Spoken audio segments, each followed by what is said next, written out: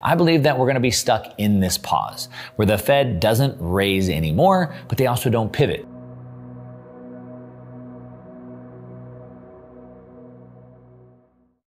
Hello, everyone. Mark Moss reveals today that the Federal Reserve funding interest rate is not the real key number. We should look at rather the key number that can provide value, which he disclosed in this video. Subscribe now, hit that bell icon, and embark on an enriching journey toward financial success. Let's unlock the potential of these markets together and pave the way for a brighter financial future. Welcome aboard. Are they going to pivot? When are they going to stop raising? When will they start lowering and, and so forth? Specifically, like I said, the pivot. And the pivot to me means that they're going from a period of raising rates and then into lowering them. Now, we could also talk about the pivot as far as going from tightening to easing.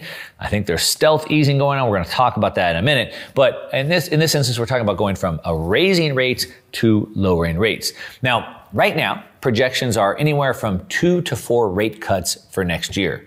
Now, there could even possibly be um, lowering rates as much as a whole point next year, depending on, of course, what happens.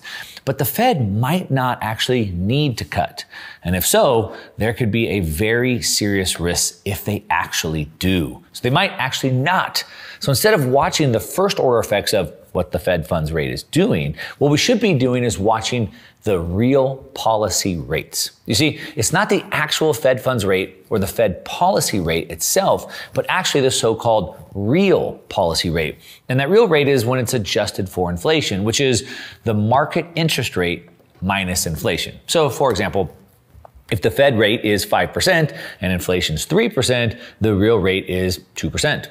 In 2021, then when the Fed rate was zero and inflation was 6%, the real rate was minus six. So focusing on the Fed and uh, when they're going to lower rates next year, it's really the wrong question. You see, the Fed can actually passively tighten or they could passively loosen by either adjusting the rate or just leaving it alone. You see, passively tightening would work sort of like this. Let's say that inflation continues to go down, but the Fed just holds rates.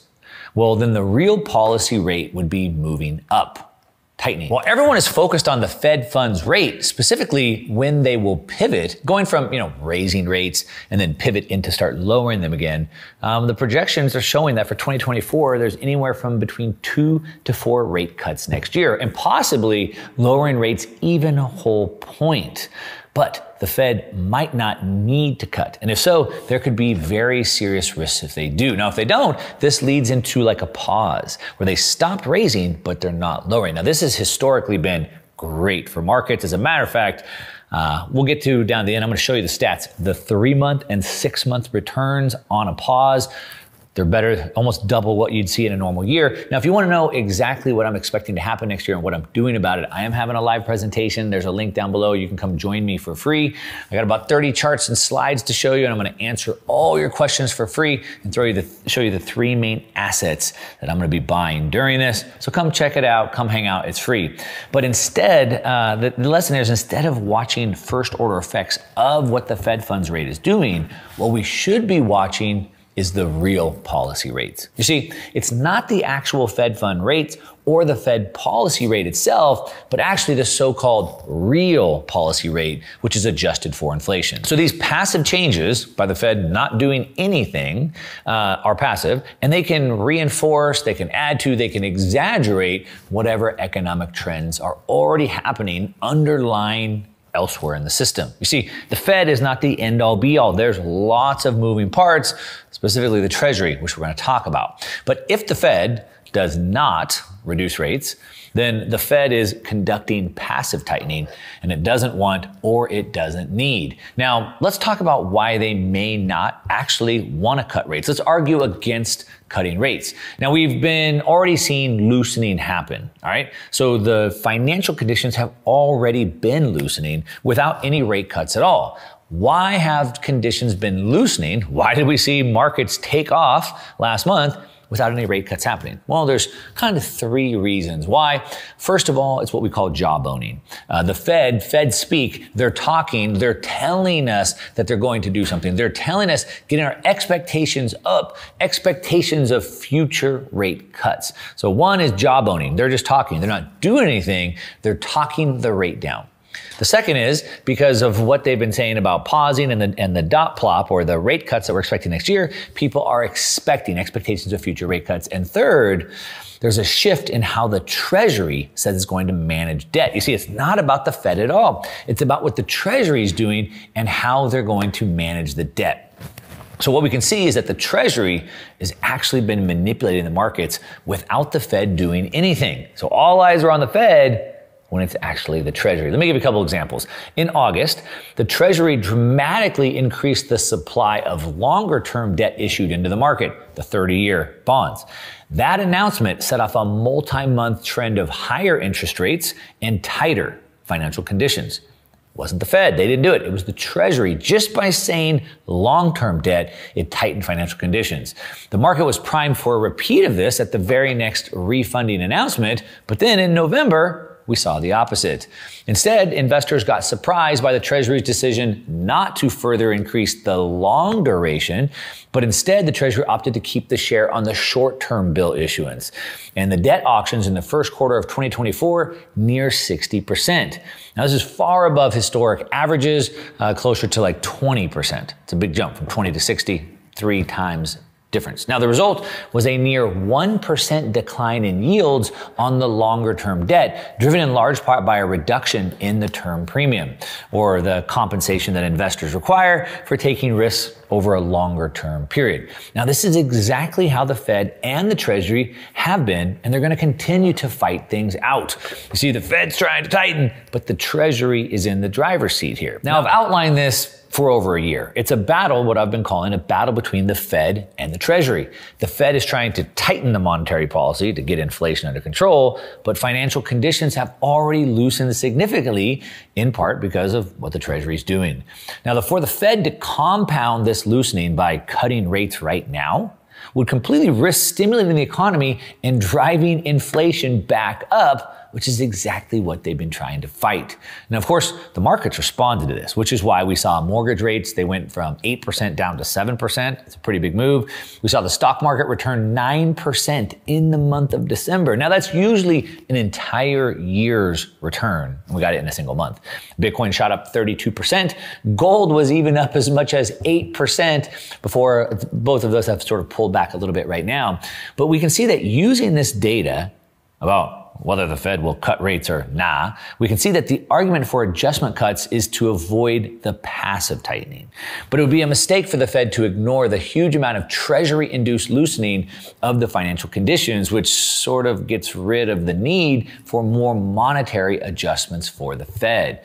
If they cut rates now, it would throw gas onto the inflation fire and it would risk probably shred any blast amount of credibility or reputation that the Fed might have left.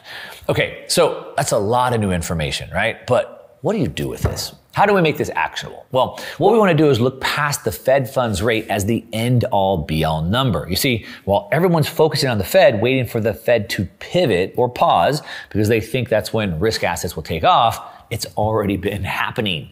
It's been happening by the Treasury, which is why we've already seen them take off, which is why most people completely miss this.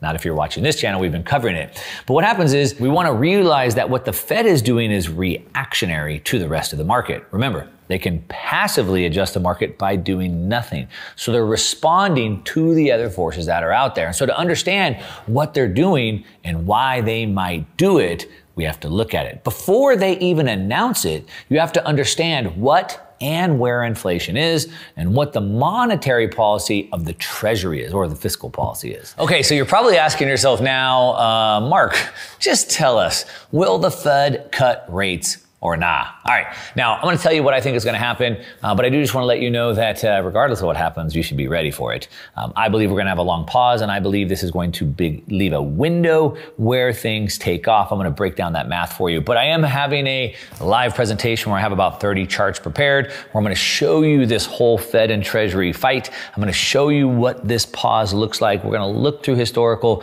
uh, data, and I'm going to show you exactly what I'm doing. The three types of assets that I'm buying during this pause, and you should be too. So come check it out. There's a link down below. It's a free event if you want to come hang out with me. Um, look at the data.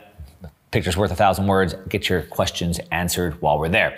All right, now what do I think is going to happen? I believe that we're going to be stuck in this pause where the Fed doesn't raise anymore, but they also don't pivot, right? They don't start lowering rates again. Now, again, they have to do this. They have to leave them higher for longer, as I said, if they want to save any shred of credibility that they have left, right? Now, this is also, like I said, it's historically really good for markets. On average, during the three month periods following a Fed pause, stocks rose 8% and were positive in five out of six periods looked at. Average increased by even more, just under 13% during the six month period following a pause, and were positive in five out of six periods. Now, the average rate, you know, depending on a 60, 80 year period, whatever you look at, is about 8%. So to get 13% in the next six months is really good. So it looks like the markets are already off to the races. Most of you missed it because you were looking at the Fed pivot, didn't understand there was the stealth easing going on by the Treasury, but it looks like that will continue this into 2024. It should start off with the bang and should keep going. Thank you for watching the interview highlights of Mark Moss. If you enjoy this highlight video, please kindly subscribe and help share this video for us to share more of this valuable content. Thank you.